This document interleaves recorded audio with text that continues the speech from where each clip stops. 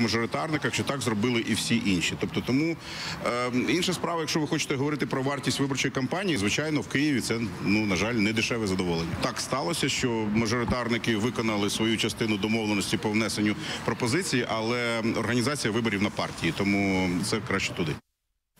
Нагадаю, напередодні народний депутат-мажоритарник від пропрезидентської монобільшості Микола Галушко звинуватив слуг народу у запроданстві виборчих списків та вийшов із партії.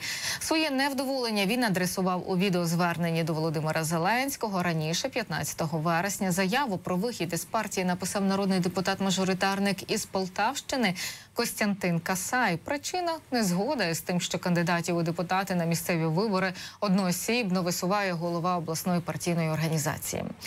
Також колишня представниця слуг народу нардепка Анна Скороход заявляла, що в її чоловіка Олексія Алякіна просили у борг 20 тисяч доларів для купівлі місця у раді однієї з ОТГ Київської області за квотою партії Слуга народу.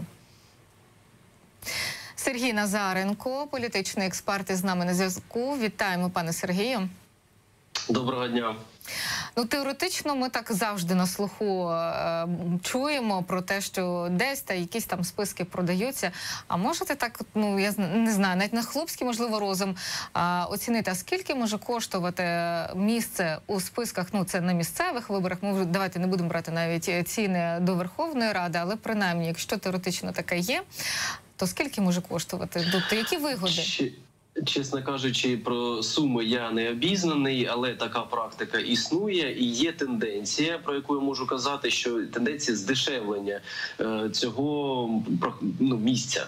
Е, це пов'язане як з економічною кризою, так і ну, і з небажанням е, людей інвестувати в політику.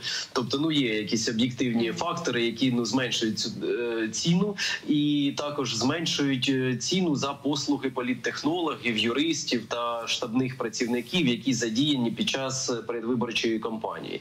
Тобто є свого, свого роду демпінг. Пане Сергій, давайте тут поставимо крапоч... три крапочки, тому що досить цікаво.